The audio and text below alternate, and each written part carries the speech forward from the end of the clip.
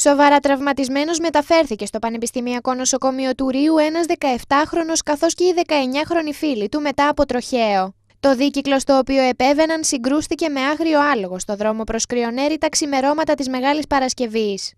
Ε, πήρα το αυτοκίνητο, πήγα εκεί πέρα. Βρήκα τα παιδιά ήταν σε άσχημη κατάσταση. Το ένα το παιδί μάλιστα ο οδηγός δεν είχε τις αισθήσεις του. Ε, η κοπέλα ήταν σοκαρισμένη. Στο σημείο του ατυχήματος βρέθηκε άμεσα το ΕΚΑΒ αλλά και κάποιοι φίλοι των δύο νέων. Ήρθαν γρήγορα και το ΕΚΑΒ και η αστυνομία. Αλλά τα παιδιά ήταν σε κατάσταση πάρα πολύ σοβαρή. Αυτή δεν είναι η πρώτη φορά που συμβαίνει κάποιο σοβαρό περιστατικό με τα αγριά άλογα με τους κατοίκους του Γαλατά να αντιδρούν και να ζητούν να πάρθουν άμεσα μέτρα. Εκλυπαρούμε 10 χρόνια να προστατεύσουν τον κόσμο.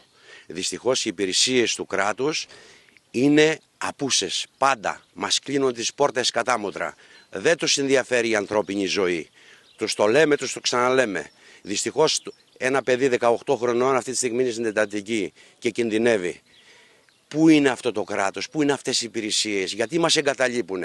Προστατεύστε τους ανθρώπους. Ντροπή τους, ντροπή τους. Να τους λέμε, να τους παρακαλάμε, δώστε μας τη διαχείριση, δώστε μας να κάνουμε κάτι και να μας λένε είναι άγρια πανίδα, μην τα πειράζετε.